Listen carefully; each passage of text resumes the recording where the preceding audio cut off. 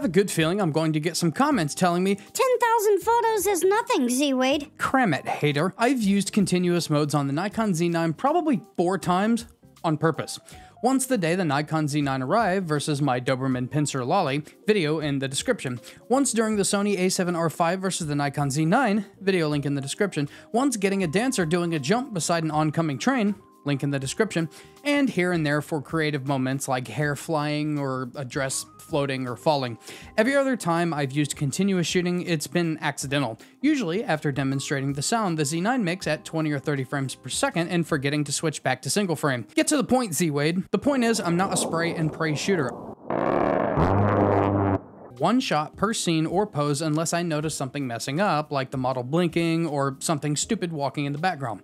So that's roughly 8 to 9,000 images doing what I normally do, which is everything besides sports, wildlife, or any other kind of action where you would use something besides single frame. So yes, I've learned a lot about the Nikon Z9 in the time that I've had it. And it's with this in the field real photography experience that I craft this video where I'm going to tell you what I've learned about the Z9 in the first 10,000 images. The Nikon Z9 earns its flagship status. Let me know in the comments what you expect out of a flagship labeled camera, but for me, the Nikon Z9 checks all of my boxes. It has wicked autofocus, it's fast shooting, and of course it's got a built-in grip. More importantly, I demand survivability. I have officially shot the Nikon Z9 in the rain, on sand, in the snow, in sweltering heat and bitter cold. In regards to the Z6 II, in the coldest scenarios, I've noticed perfectly fine function with a little bit of lag on the back screen and when powering on. Also with the Z6 II, occasionally when shooting in 106 degree weather, shooting 4K or really ripping off some shots, the cards will overheat before the camera. No big deal really. The Z9, on the other hand, in my most aggressive conditions, doesn't seem to behave any differently in any regard. While I've seen it get hot to the touch during dry Kansas summer heat shooting full res, full frame video and photography, it has never once warned me about the camera or card temperature. In fact, I can't even tell you what that alert would look like on the Z9. It probably looks the exact same as the Z6 II's alert, and that's the point. But don't take this as the Z6 II having overheating issues. It totally does not, and I've had the Z6 in some real rough scenarios. But the Z9 obviously does better because I have really put this thing through some real nightmares. There are way more functions on the Z9 than most people will ever use. Depending on your philosophy on how and what you spend your money on, this could be a good or a bad thing. But complain all you want, today's industry, from a business and marketing perspective, it has to be this way. The Nikon Z9 is absolutely loaded. The menu is so full of stuff that it can be kind of overwhelming. Now, depending on whether you shoot in RAW and manual or JPEG or something else, you can ignore a large portion of it and other items are a set it once and leave it kind of ordeal. But even so, the things you can do if you choose to goes very, very deep.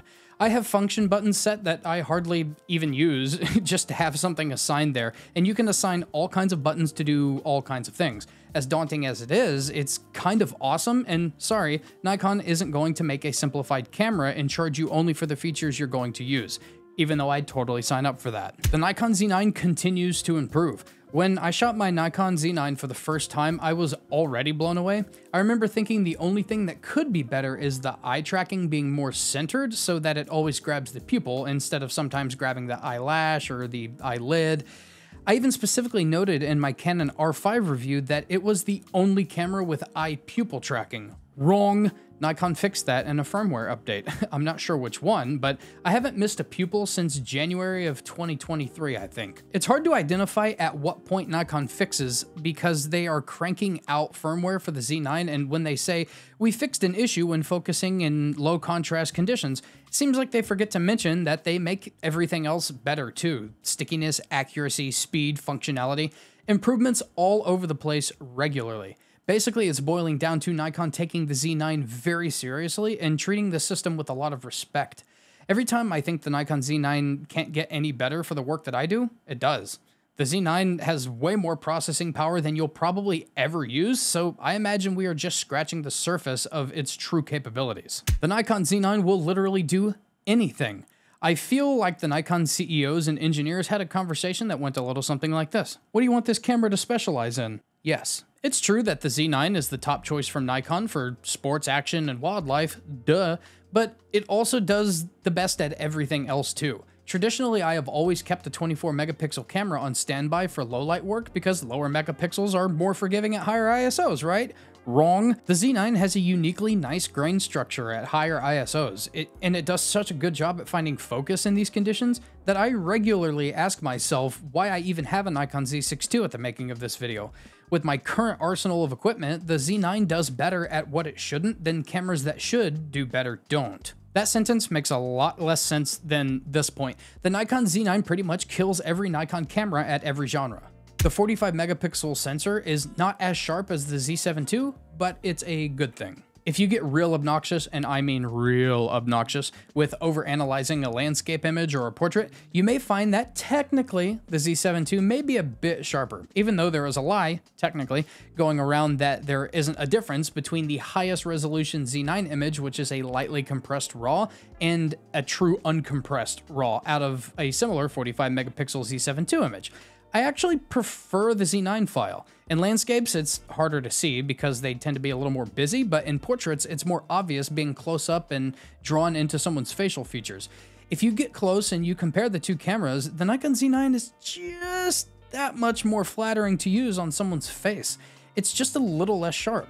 The image does not lack in sharpness at all, okay? The Z9 is crazy detailed, but it's just ever so slightly easier to work with in post and just more clean which I appreciate because I notice these things, and whenever I do notice them, I can't unnotice them. I know pixel peeping is stupid and you probably won't notice or care, but this video is about what I've learned about the Nikon Z9.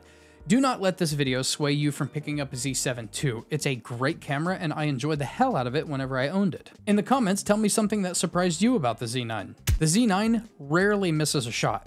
When my Z9 first arrived, it was rare that it missed a shot in one of its many tracking modes, uh, but after the first firmware update that was released during my ownership, I seriously can't recall a single WTF focus moment.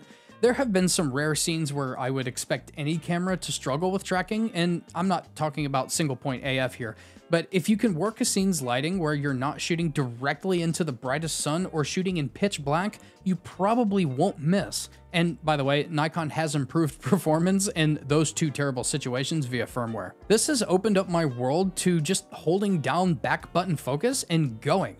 I'm getting more unique angles faster and more accurately than ever before. I have noticed that I have almost tripled the amount of images I shoot and keep, which is more work to do in post, but a better value for my portfolio and the people and projects I work on. I have more incentive to like hop on the ground and hit like a low angle whenever I can do it in like four seconds with no questions. I'm literally rolling around like a ninja out here with my Z9, y'all. It just works. I can count on it as an extension of my ideas, and I've yet to be like, oh dang, if only I would have known it had missed, I would have reshot it. No, I'll never get the opportunity opportunity again. It's gone forever. No, it just it just does what it needs to do. The files are incredible. I kind of touched on this a moment ago uh, whenever I was talking about the texture of the files compared to the Z7 II and the grain structure at higher ISOs, but I have to add to the quality of the files as a whole. It's pretty typical to see a kind of an ugly color cast in RAW files sometimes. It's really apparent on portraits with skin tones. In a true RAW image, the skin may take on a yellowish tint from time to time, well, it's way better on the Z9 than the Z7 II. It may be subjective, but I feel like Z9 raw images are just more real to the scene. I have to also add that the headroom that you have on the Z9 files are massive. Typically, if you take an underexposed image and try to bring it way up, at some point it's going to get dirty, or you may ruin your shadows with dreaded splotchiness, or, on the reverse side of that, you may ruin your highlights trying to recover them and you'll get that wicked splotch or a treacherous moire in the sky. You almost have to be intentionally trying to ruin a Z9 image to actually ruin it.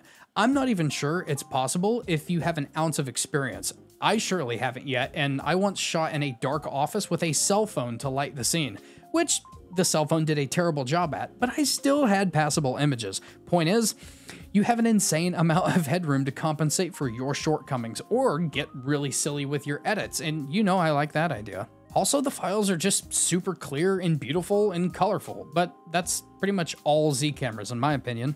Guys, I absolutely love the Z9. It's the best camera I've ever owned, and it's way overkill in all the right ways. Let me know in the comments what you've learned about the Nikon Z9, and stay sharp, YouTube.